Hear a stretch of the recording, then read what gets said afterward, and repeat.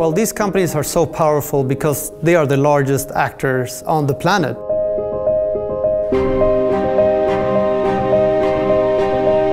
Well, in seafood there has been quite a few different initiatives on sustainability, but they have mainly been sort of a bit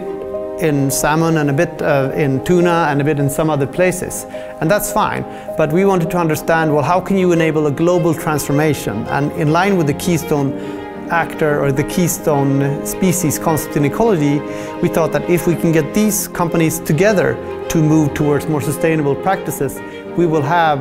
same way as we do in ecosystems, when keystone species change, we have these cascading effects. So we think if the keystone actors change their sustainability strategies together, we will have these cascading effects throughout the entire global seafood production system. Well, the role of science in this is basically to provide the, the scientific starting point and the formulation of the problems that, of course, many of these companies are aware of those problems and have their own perception of the problem, but science has been able to synthesize the most recent information about, about both the global challenges and the global opportunities that is connected to these companies and to global seafood production. And of course, we as scientists have also been able to be operating as an honest broker through our sort of scientific credibility and ability to uh, to connect these different parts of uh, the seafood production system, we were able to uh, offer this platform where we could have this strategic discussion. Well, it's important for these companies to collaborate because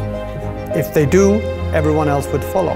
But if one company decides to take on sustainability as a core strategy and the other 12 keystone actors don't, then that, that could provide a short-term loss for that one company that decides to be a leader. But I think through this Keystone Actor initiative, we've been able to get together the eight largest companies and